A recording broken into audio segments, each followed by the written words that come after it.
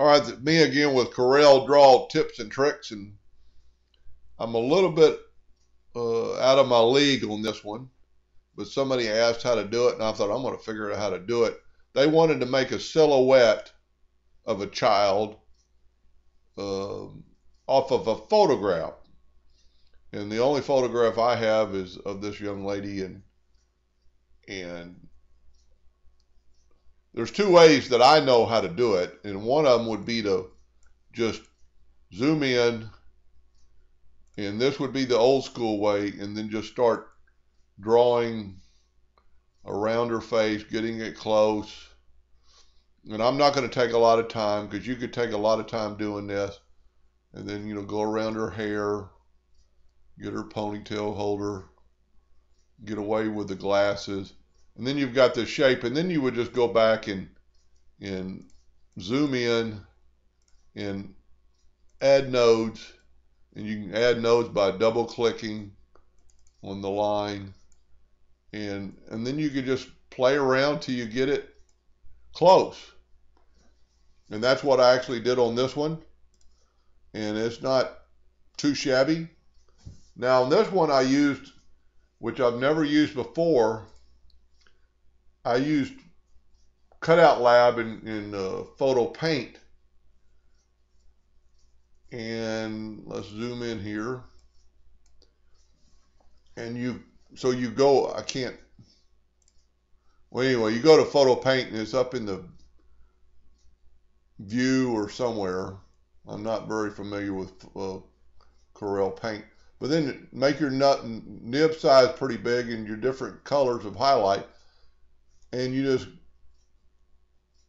grab your nib. Okay, how do I get out of?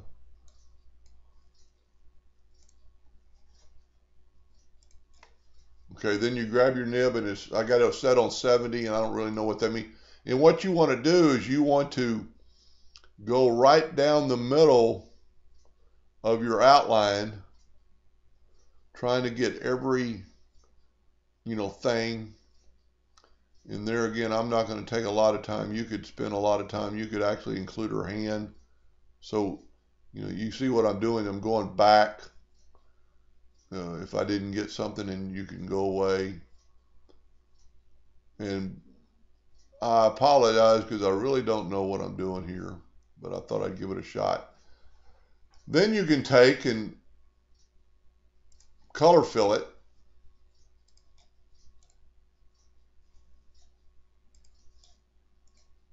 with that blue, and then you can kind of see, you know, some things that your uh, you, your nose isn't color fill, but then you can go to, and I'm kind of lost here. These ought to be hot. Okay, it's processing. Now you can add and take away, and that looked pretty good. You know, if you want to be get round to it, I mean that's. But you see her hair, so you could you could add.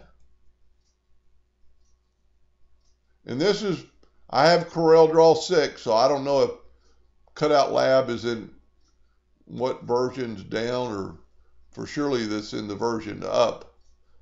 But you can see how you can add. And then you can also take away if you've got too much. Because you wouldn't want these straggly pieces of hair. In some cases you would.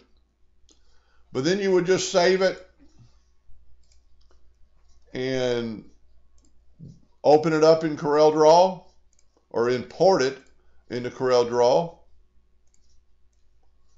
And it's pretty good. It's got some, you know, it's got some hiccups right here, but you can go and, you know, uh, use your shape tool and get rid of those and maybe smooth these out, you know, on a girl's hair or a little boy's hair because I would think you'd be doing this for a younger child.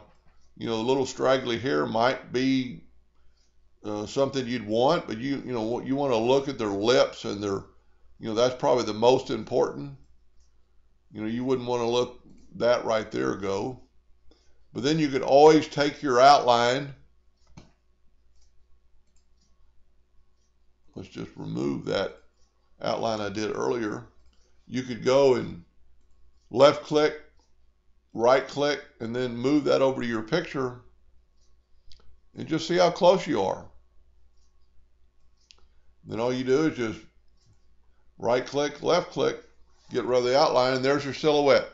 Hope that helped, and thank you for watching.